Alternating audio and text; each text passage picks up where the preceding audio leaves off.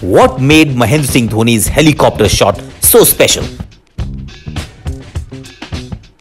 The helicopter shot allowed Dhoni to impart power and elevation to Yorker length balls. Dhoni used his wrist in a whipping motion to impart power. That whipping motion made the bat do a full arc in its follow through, just like a propeller.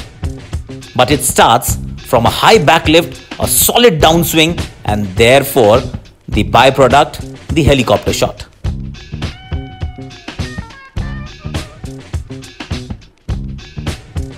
Basic First, specialized platform for JEE Main Advanced NEET and 6 to 12.